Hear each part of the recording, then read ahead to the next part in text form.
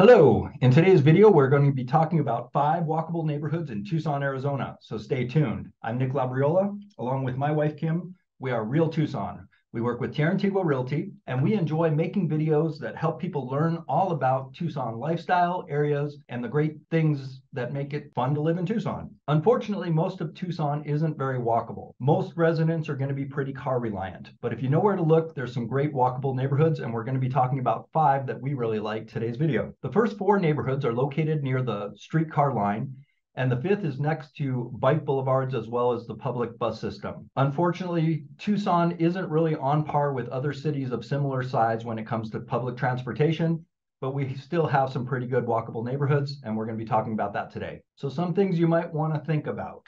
First, you need to decide where do you want to walk to? Are you looking to walk to your workplace? Are you looking to walk to restaurants, coffee shop, entertainment, parks, recreation, or libraries? Are you going to have to cross any major roads to get to where you want to go? Let's start our tour of the five neighborhoods. They're in no particular order, and please be sure to stick around to the end because number five will probably surprise you. Number one, Barrio Viejo. So the first neighborhood we're going to feature here is Barrio Viejo, which is just south of downtown Tucson. So here's a map of Tucson. Downtown area is over here. Let's scroll in a little bit. That's downtown Tucson. It's located south of Cushing Street, west of Stone, north of 18th Street, and basically to about I-10, this whole area here. The types of homes in Barrio Viejo include historic Sonoran row house style adobe buildings, and there's also some newer homes that mimic the Sonoran style. An example is the Miramonte Barrio Viejo development, which is modern townhomes with masonry construction. They're very solidly built, but they mimic the historic style. There's a few hip lofts. Street parking is common in the neighborhood. There are newer homes, but they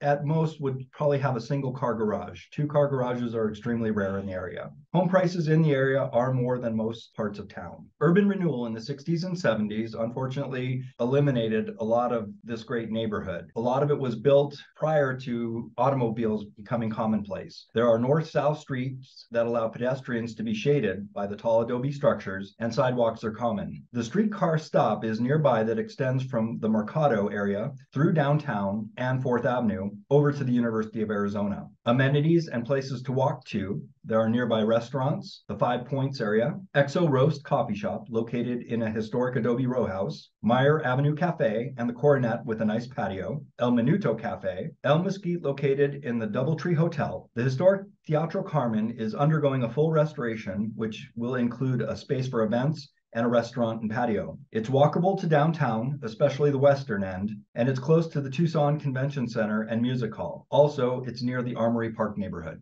Kim and I are licensed realtors in the state of Arizona. And as much as we enjoy helping people learn about Tucson with these videos, we prefer helping people buy and sell homes. So if you ever have any questions, all of our contact information is located in the links below. We're happy to answer any questions you have. Just reach out by text, telephone, or email. Number two, Armory Park. This is located south of downtown. That is going to be south of Broadway, east of Stone, and north of 19th Street. Types of homes here include a mix of single family homes. They're often in a bungalow or Victorian style. There are also apartments and a few condos mixed in. Armory Park del Sol is a popular infill neighborhood built in the early 2000s by John Wesley Miller. Amenities and places to walk to. Downtown, and especially the eastern side of the downtown, there's the Children's Museum, and there's also the Temple of Music and Art. Restaurants and bars include Penca, the Delta, Charro Steak, Cartel Roasting, The Hub, and Five Points. There are a few bed and breakfast inns located in the area also.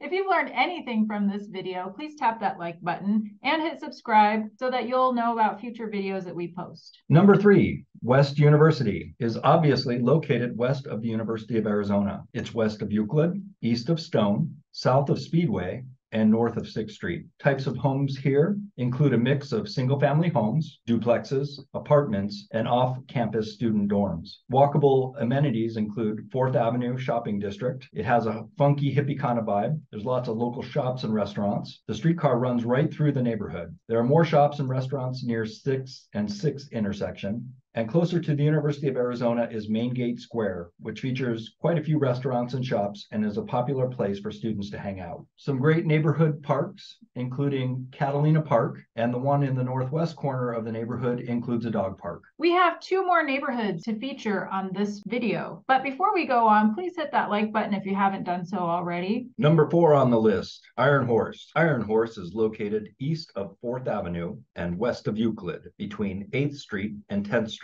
It's a pretty small neighborhood. Iron Horse has a lot of single family bungalows, and there are also some apartments and off campus student housing in the area. Walkable amenities 4th Avenue shops, restaurants, and bars. 9th Street has a dive bar called the Buffet, as well as a small convenience store and a hardware store. Aviation Bikeway is nearby and crosses Broadway via the iconic Rattlesnake Bridge. Railroad noise may be an issue for some. Thanks for sticking with us. We're at number five, Miramonte. Miramonte is located between Alvernon and Country Club and between Speedway and Fifth. The types of homes tend to be mid-century ranch style homes, along with some apartments and duplexes. Walkable amenities. Along Speedway, there is a Whole Foods market, along with a Bookman's Entertainment, Zia Records, and a few restaurants and other shops. The Loft Cinema, our local art house movie theater, is located north of Speedway, but it's easy access with the pedestrian crossing. If you cross Country Club to the west, it's three short blocks to Himmel Park, which also has a library branch. The park has soccer fields, playgrounds,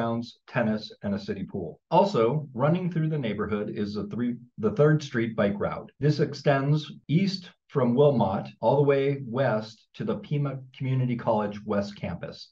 If you've gotten anything from this video, please tap the like button and subscribe. And if you ever have any questions about anything about Tucson, Arizona, I'll do my best to answer. Just reach out to us with the contact information provided in the links. Thanks for watching.